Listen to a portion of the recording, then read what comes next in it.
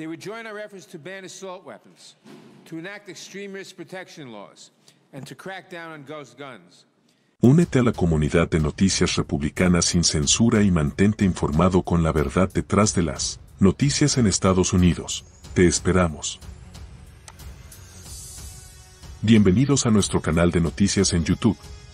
Hoy estamos en vivo desde la ciudad de Nueva York para informarles sobre la conferencia de prensa que dará el alcalde Eric Adams, junto con el representante Jerry Nadler, Democrat New York, y defensores del control de armas. La conferencia de prensa, programada para las 8.15 am, se llevará a cabo en medio de una audiencia del Comité Judicial de la Cámara en Manhattan, que discutirá el aumento del crimen en la ciudad. Este es un tema de gran preocupación para los residentes de Nueva York, ya que se han registrado un número alarmante de delitos en los últimos meses.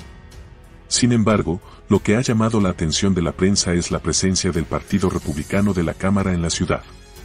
Se dice que los republicanos organizaron la audiencia después de que el fiscal de distrito de Manhattan, Alvin Bragg, presentara cargos contra el expresidente Donald Trump por falsificar documentos comerciales en relación con los pagos de dinero secreto a dos mujeres en 2016.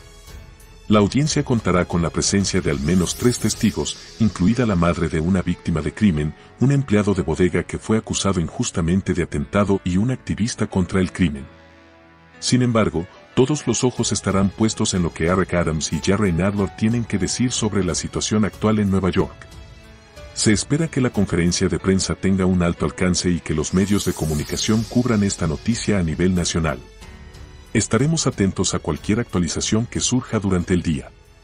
Manténganse sintonizados.